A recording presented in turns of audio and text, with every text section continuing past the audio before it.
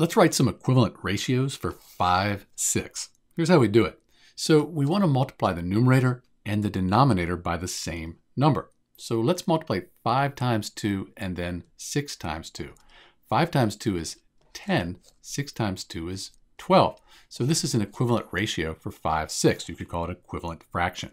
Let's do another one. Let's multiply both the numerator and denominator by 3. 5 times 3 is 15.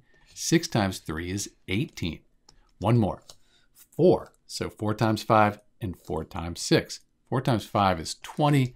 4 times 6 is 24.